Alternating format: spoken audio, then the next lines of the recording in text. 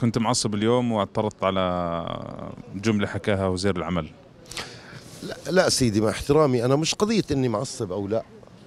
آه، معالي وزير العمل مشكور حط اصبعه على الجرح إنه إحنا في عندنا قنبلة موقوتة اللي هي نسب البطالة اللي راح تتضاعف وراح تصير بنسب عالية في ظل جائحة كورونا اللي صارت والإغلاقات والى آخره.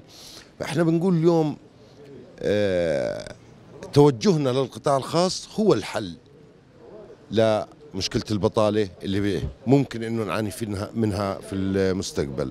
آه، قضية ليش معصب؟ أنا مش معصب بس معالي آه، وجه لأنه آه، ميزانية 2020 كانت وزارة العمل موازنتها 19 مليون وبال 2021 أشار أنه مجلس النواب الموقر هو من أقر موازنة 9 مليون. إحنا أقرينا ما جاءت به الحكومة.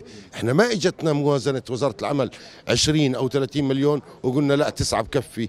أنتوا الحكومة بعتوا لنا موازنة 9 مليون وإحنا أقررناها كما هي يعني ما نزلنا منها. فهاي كانت مداخلتي.